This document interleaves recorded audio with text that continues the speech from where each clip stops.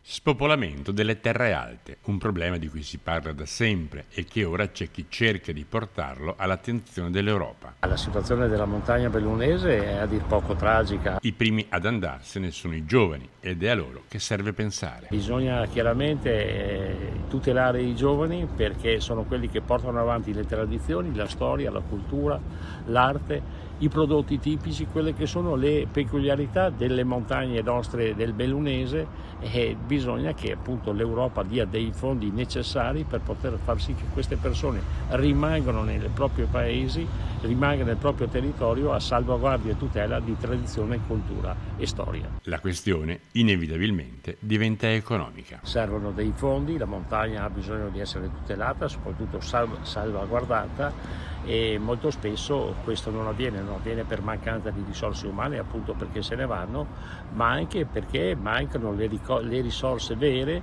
quelle che dovrebbe dare diciamo, anche l'Europa e soprattutto si trova a confrontarsi la provincia di Belluno con la provincia eh, chiaramente di Trento e Bolzano e la regione Friuli Venezia Giulia,